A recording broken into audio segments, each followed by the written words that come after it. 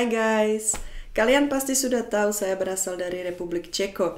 Uh, Ceko itu negara kecil di tengah benua Eropa dan banyak orang Indonesia tahu uh, pemain sepak bola asli Ceko atau juga uh, olahragawan lain.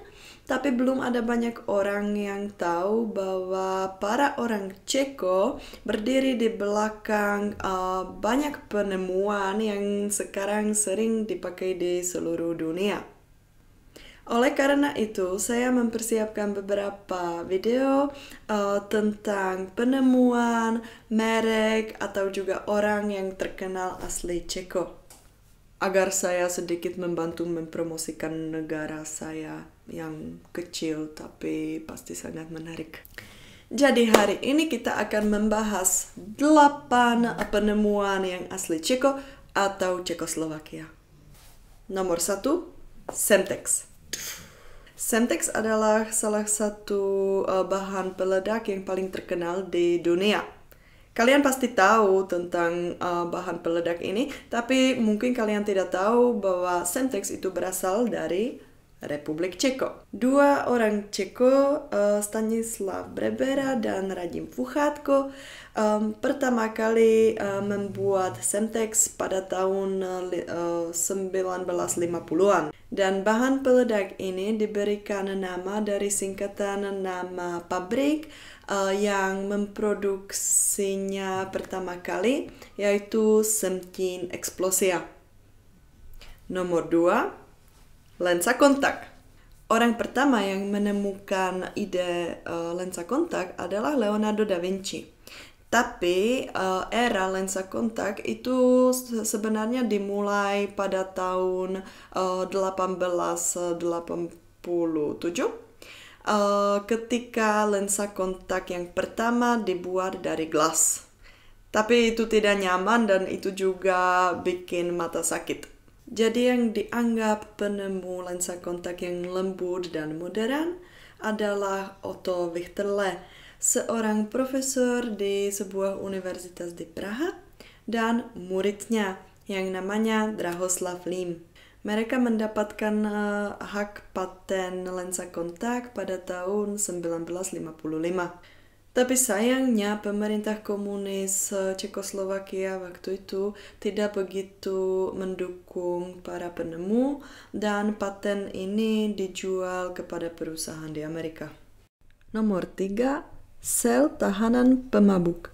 Sel tahanan pemabuk atau dalam bahasa Inggris drunk tank adalah sebuah tempat ke mana kalian dibawa oleh polisi kalau kalian uh, terlalu mabuk dan kalian ketemu di jalan dengan uh, seorang polisi yang akan uh, memutuskan bahwa kalian berbahaya bagi lingkungan sekitar atau bagi diri sendiri. Dan di sel ini kalian harus menginap sampai kalian bisa sadar lagi. Dan setelah itu kalian juga harus bayar tagihan. Jadi itu hanya seperti hotel yang tidak begitu nyaman dan uh, sangat mahal. Jadi hotel untuk para pemabuk. Tempat ini pertama kali didirikan di Cekoslovakia pada tahun 1951. Pendirinya adalah seorang pejuang alkoholisme uh, yang namanya Yaroslav Skala. Ini mungkin sedikit lucu ya, tapi saya sudah pernah cerita bahwa orang Ceko uh, minum paling banyak bir di dunia per tahun dan uh, sebenarnya alkohol itu sangat penting bagi orang Ceko dan ada banyak yang benar-benar minum hampir setiap hari atau Ya, bagi mereka itu seperti bagian dari kehidupan mereka.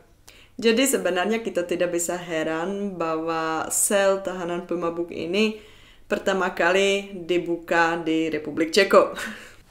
Nomor 4, gula kubus. Gula kubus sangat biasa pada zaman ini, tapi sebenarnya cerita tentang uh, penemuan uh, bentuk uh, gula ini sangat menarik. Karena dulu gula itu berbentuk sugar loaf yang terlalu tinggi dan kurang praktis. Jadi zaman lalu kalau kalian butuh sedikit gula, kalian butuh pakai pisau, palu, atau gegep. pada tahun 1841 seorang wanita bernama uh, Juliana Radova uh, butuh potong uh, sedikit gula ini dan dia melukai diri dengan pisau. Jadi dia bilang kepada suaminya yang bekerja sebagai direktur sebuah pabrik gula di Ceko bahwa dia mungkin bisa cari solusi uh, yang lain supaya ibu-ibu um, di rumah tidak perlu selalu uh, potong uh, gula ini sugar loaf yang besar karena itu sedikit berbahaya ya. Dan suaminya berpikir tentang semuanya dan pada akhirnya dia menemukan gula kubus Sebenarnya dia asli Swiss Austria, tapi dia tinggal di Ceko dan istrinya juga orang Ceko dan dia juga menjadi direktur pabrik eh, yang berada di Ceko. Jadi kami menganggap uh, gula kubus itu penemuan asli Ceko. Nomor 5, patentka atau snap fastener. Ada yang pernah lihat kancing jenis ini? Itu ditemukan pertama kali di Ceko pada tahun 1902. Dan sejak zaman itu, mesin mekanis yang dipakai untuk membuat kancing ini, itu dipakai sampai sekarang. Nomor 6, pensil mekanik versatil. Versatilka atau pensil mekanik uh, versatil adalah sebuah uh, pensil yang isinya itu yang granit itu bisa diisi kembali. Dan sekarang itu sudah dipakai di mana-mana di dunia. Nah, dan ini juga produk Ceko sebenarnya. Karena pensil jenis ini pertama kali dibuat di sebuah pabrik di kota České Budějovice pada tahun 1940-an. Nomor 7, penangkal petir. Penemuan ini sudah menyelamatkan banyak nyawa saat badai petir. Penemunya adalah Prokop Divish yang hidup pada abad ke-18.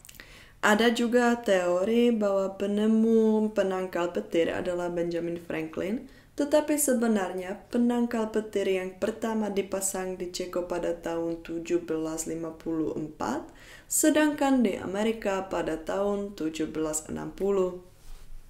Jadi buatan Ceko juga. Nomor 8. Desinfektan. Larutan chlumský atau juga disebut uh, solutio fenoli camporata adalah campuran fenol dan kapur barus dengan penambahan etanol 96%. Larutan ini pertama kali dibuat pada tahun 1926 uh, oleh Dr. Vítězslav Chlumský yang menjabat sebagai direktur rumah sakit militer selama Perang Dunia Pertama. Dan walaupun desinfektan ini bukan nomor satu di dunia, sampai hari ini itu sering dipakai di uh, rumah sakit di seluruh dunia, uh, terutama sebelum pembedahan. Jadi sterilasi, desinfeksi. Itu.